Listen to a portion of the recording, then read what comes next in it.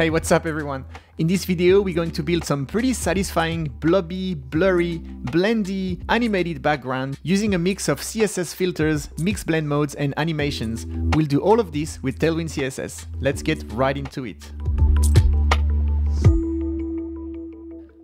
Alright, so yesterday I was browsing the web looking for some design inspiration and I ended up finding this website called Qoals or qoals.com. So this is a really clean and simple design and one thing I particularly liked about it is these multicolor blurry shapes in the background and if you pay attention, they're actually moving slightly. This is a really subtle touch, but I thought it gave this design a lot of character and brought it to life. So in this video, we're going to recreate this sort of background effect using Tailwind CSS utility classes.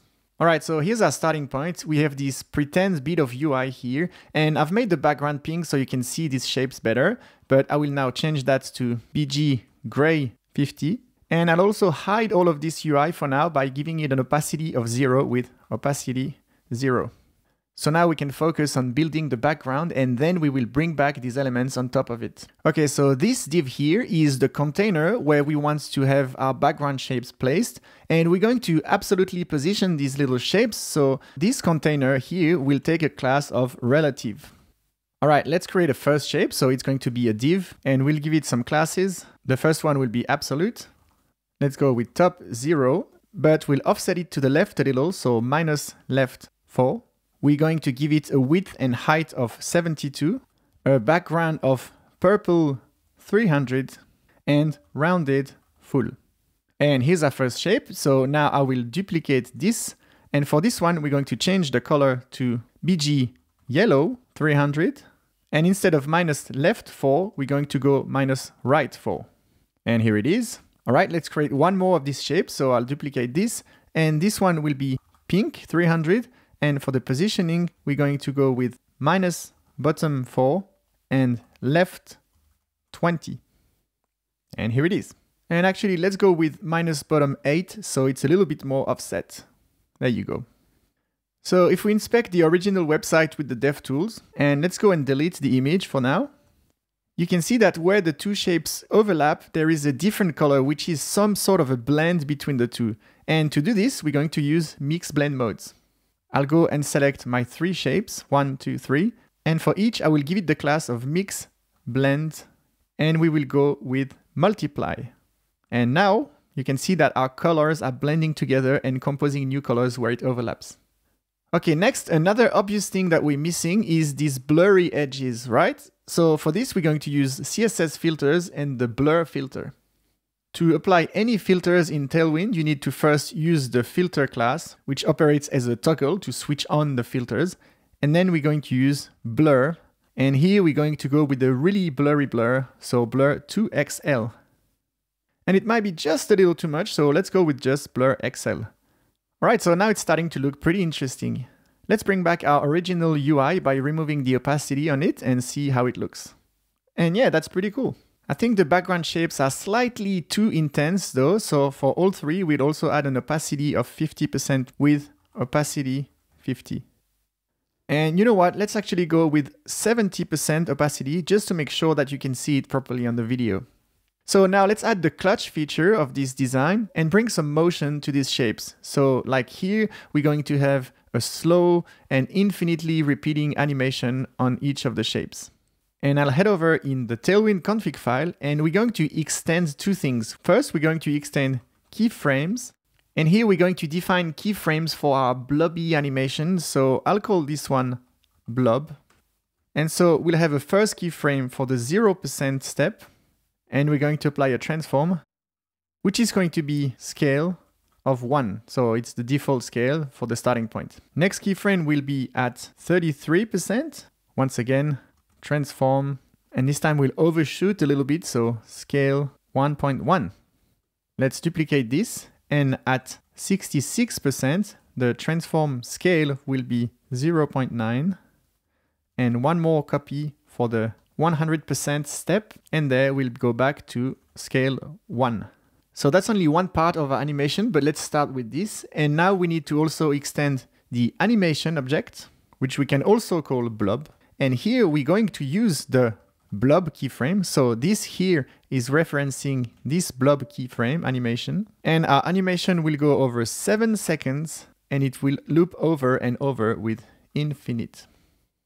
Okay, let's go back in our HTML and for our first shape, the purple one here, we're going to add this animation. So we should now have an animate blob animation and yep, here it is. So let's see what happens. So now if you can't see it because it's quite subtle, let's go here and make it loop faster. So maybe over four seconds. And we'll also transform to 1.2 and 0.8 to make it a little bit more drastic. All right, and now you can see it properly. So you can see it's moving outside and then back in. Back in the original design, you can see that the shape doesn't just scale up and down, it also slightly move up and down, right and left, so let's add a little bit of translate to our keyframes. So we'll compose this with scale. For the first step at 0%, we will start with translate 0 pixel and 0 pixel. At 33%, let's also add a translate. And here we'll move by 30 pixels and minus 50 pixels. At 66%, we will go with minus 20 pixels. And let's go back up to 20 pixels. And to close the loop, here we're going to go back to zero with translate zero pixel, zero pixel. And now you should be able to see that our purple blob is kind of moving up to the right at the start and then back down. So that's a little bit too quick and too drastic. So I'll go back to what I initially had before updating the demo to seven seconds.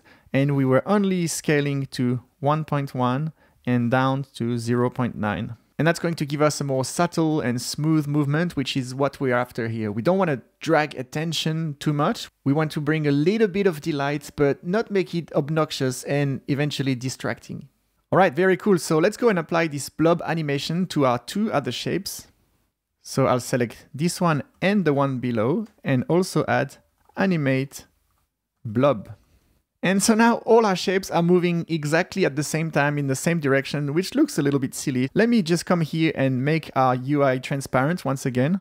And as you can see, we're completely losing this blend of colors because everything moves as a block.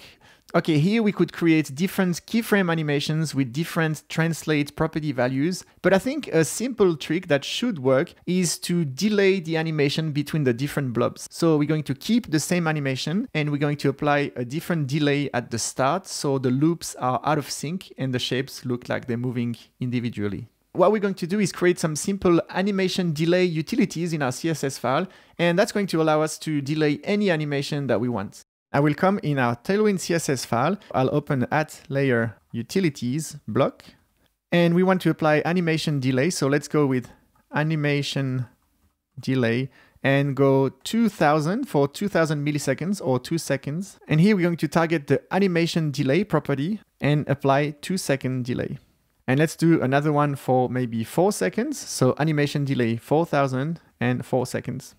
Okay, so now we're going to apply the delay 2000 to the yellow blob and the delay 4000 utility to the pink blob. So let's scroll back up here. And here for our yellow, we have animate blob, and we're going to keep this animation, but we're also going to apply a delay with animation delay 2000. And I'll come down in the pink one, and this one will have animation delay 4000.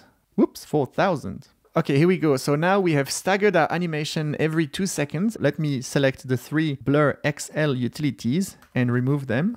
And so now it's a little bit easier to see that the purple starts, two seconds later, the yellow starts, and then two seconds after that, the pink starts. And it's a much more interesting movement between the shapes. Okay, let's bring back our nice blur effect. We're going to now bring back our UI by removing this opacity and see the final result. I'll make that a little bit bigger. And that's pretty cool. So like I mentioned, you can probably play around with the easing timing function so it's less abrupt in certain parts of the animation. But at least now you know exactly how to recreate this pretty cool blurry background motion effect using Tailwind CSS. And that about wraps it up for this video. Thank you so much for watching and as always, I will see you in the next one. Bye for now.